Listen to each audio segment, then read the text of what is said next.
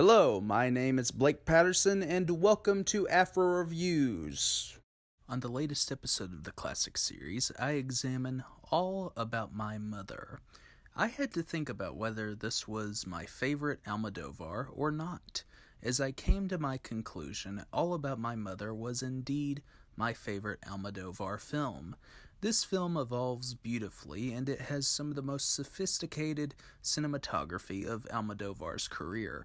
When the film playfully alludes to All About Eve, Almodovar is not too coy in his approach, and his subtle reference should be in every modern filmmaker's mind on how to create pop culture allusions in filmmaking.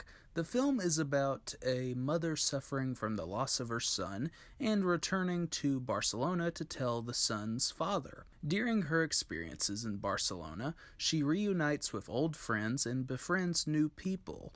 Almodovar's humanity is on every frame of this film, and there is never a moment when Almodovar is condescending towards his characters.